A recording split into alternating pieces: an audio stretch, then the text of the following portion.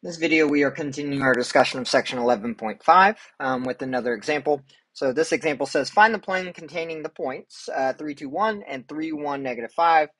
And um, the plane is orthogonal to the plane P1, and they give us that expression. So I drew a picture to kind of help us out here.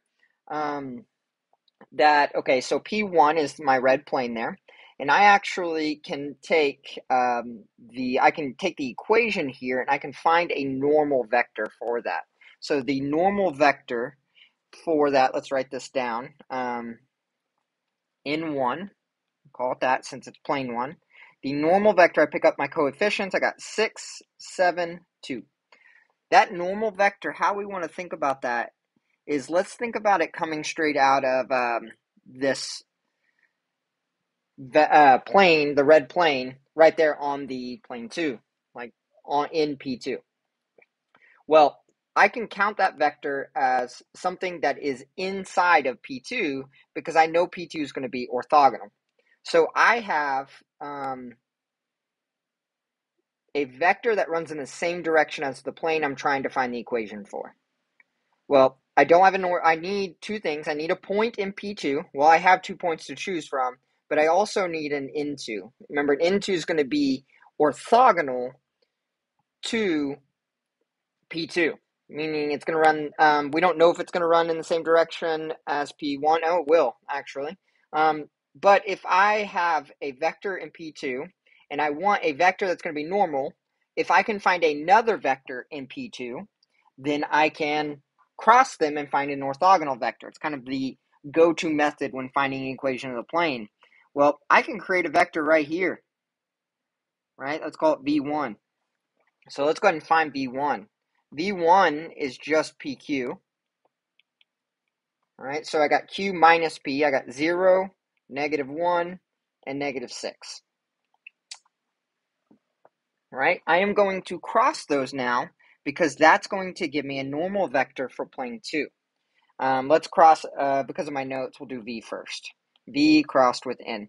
Now, does it matter? No, because either we're going to get, remember, when we change our order of our cross, it's either going to give us a vector that is up or down, but they'll both be orthogonal. So we are taking, if you're if you're unsure what's going on, we took this normal vector here. We got the normal vector from that. We know that vector lives in P2 because it says that that plane is orthogonal to P2. We also found the ortho, uh, a vector PQ that also lives in P2. So now we have two vectors that live in P2. If I cross those, then we will get the normal vector we were looking for that is going to be in the same direction as P1. All right, so let's multiply these with the cross product. So I have I, J, K, and then we get 0, negative 1, negative 6, 672, right? To keep my video short, I'm going to go ahead and give you what this comes out as. It's 40i minus 36j plus 6k, right? Notice that everything is divisible by 2, so we're going to divide everything by 2 um, just to make our number smaller. And remember, we can do we can take out numbers or multiply our directional numbers as long as it just has to do with direction and not distance. Well, the normal vector is just direction. That We don't care about how long it is or anything. So we are going to use the one inside um, along with the this point. So for my equation of the orange plane there, P2, I have 20 x minus 3 minus 18 y minus 2. And then the last one is going to be plus 3 z minus 1. This is standard form. If we work it out, multiply it out, general form ends up being 20x minus 18y plus 3z equals 27. This is general form. Um, I'm not working that out because I trust that you can do that's algebra.